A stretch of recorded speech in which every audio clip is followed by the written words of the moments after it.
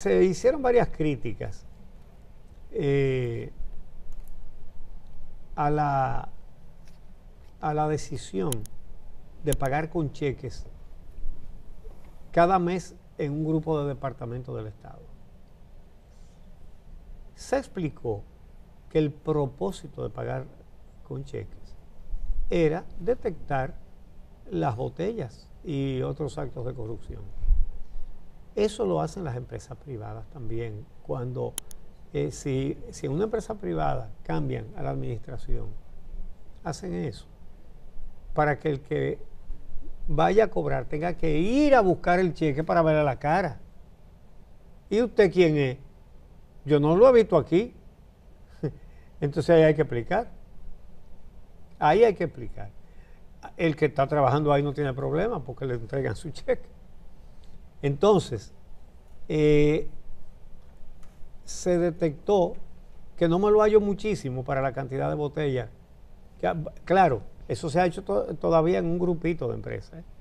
pero en la que se hizo el mes pasado, porque ya este mes lo hicieron, los resultados se sabrá un poco más adelante. Pero lo que se divulgó ayer son los resultados del primer mes en que se pagó con cheques en varios departamentos del Estado. Y los cheques que nadie fue, que nadie fue a cobrar suman 7 millones y medio de pesos. Entonces, quedaron sin cobrar cheques por 7 millones y medio de pesos.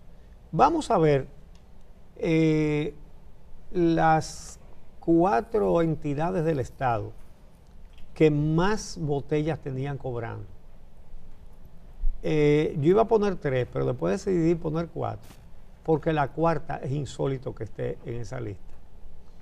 La primera es el Ministerio de Medio Ambiente, donde sobraron 277 cheques por 3.937.746 pesos.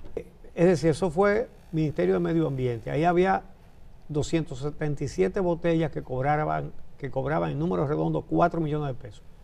Repito, 3.937.000 y pico. Luego le sigue el Ministerio de Deportes, donde sobraron 134 cheques por 1.831.218 pesos. Eh, el tercero fue el Ministerio de Interior y Policía, donde sobraron 22 cheques por 466.276 pesos. Y el número 4, ¿saben cuál fue? La Contraloría General de la República la Contraloría, la que tiene que tener control de lo que se paga y a quién se le paga y por qué se le paga. Ahí hubo 13 cheques que se quedaron sin que nadie lo buscara.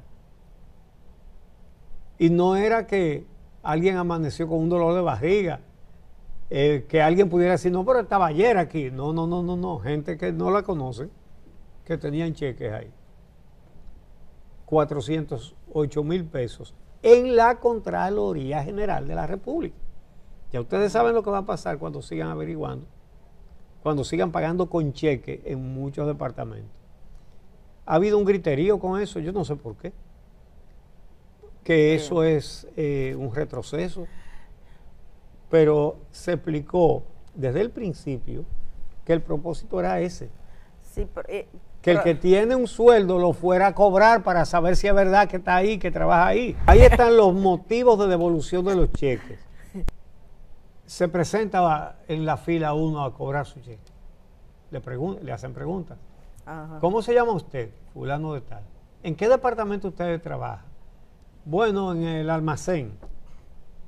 Eh, ¿Usted sabe cómo se llama el supervisor del almacén? Eh, y se queda como una cinta pegada.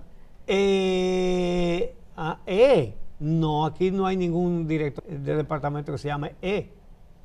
Dígame el nombre. No, lo que pasa es, no, no pasa nada.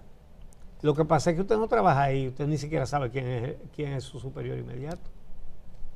Entonces ese cheque, guárdamelo ahí. Y así van sacando cheque, ¿verdad? Y obviamente hay muchas personas que no se atreven a irlo a cobrar tampoco.